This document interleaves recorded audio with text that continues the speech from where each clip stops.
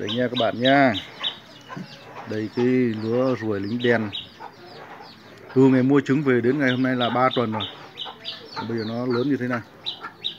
Đấy 3 tuần rồi. 36, 18 ngày rồi. Trứng cả ấp Ấp thì mất gần một tuần. Thì mọi lần này mình à, đây là mua lứa đầu là mình sẽ làm giống thôi. Sau này tất cả bọn này đây.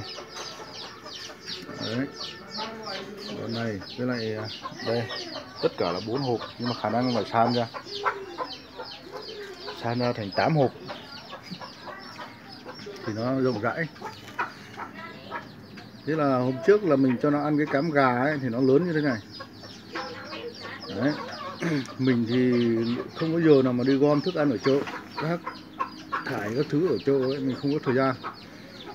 Nhưng hôm nay mình tìm được con mỏ đó là cái bã sắn này. đấy, đã sắn bã khoai mì đấy.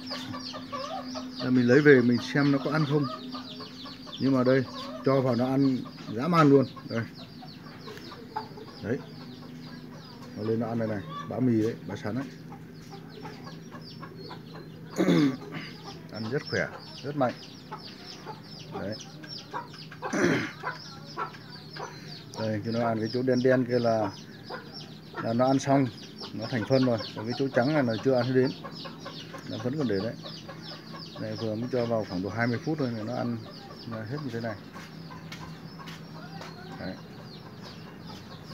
Thấy chưa? Nhưng toàn bộ cái số này mình phải cho nó ăn ngon ăn nhiều chất ăn đủ chất thì nó lớn nó thành ruồi. Đấy. Nó thành ruồi là ruồi giống tốt nó đẻ. Nhưng mà tất nhiên là ăn, ngon vừa vừa thôi nếu mà ăn ngon quá ăn như người ấy thì cũng không được. Nó phải thức ăn của nó thì cũng phải nhiều chất xơ.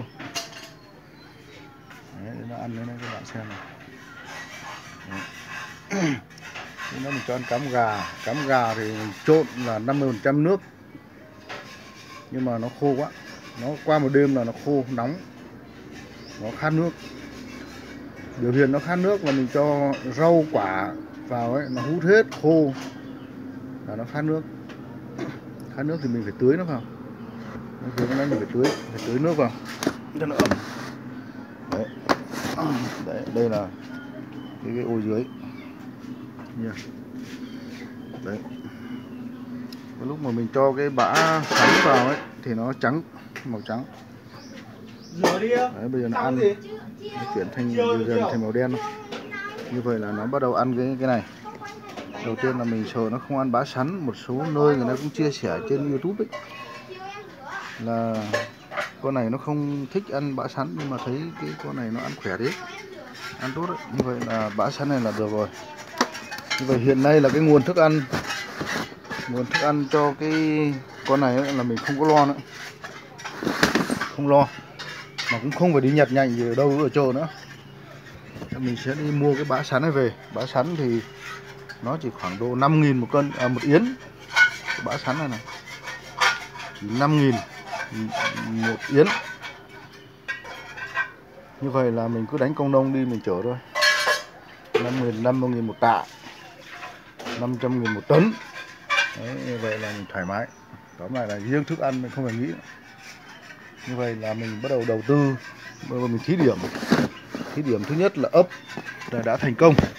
Cái thứ hai là nuôi đã thành công. Cái thứ ba là nguồn thức ăn thì đã có như vậy là không còn lo cái gì nữa bây giờ chỉ có đầu tư làm chuồng nữa thôi. Làm chuồng càng lớn càng tốt. Đấy. Đấy, hôm nay mình chia sẻ cho các bạn xem đấy. Đó. nhìn giống con giòi. Nhiều người ghê sợ đấy. Mình cũng không sợ đâu. Cái số giống này mà nó ra thành ruồi thì nó đẻ thì phục vụ cả huyện luôn. Rồi chào các bạn nhé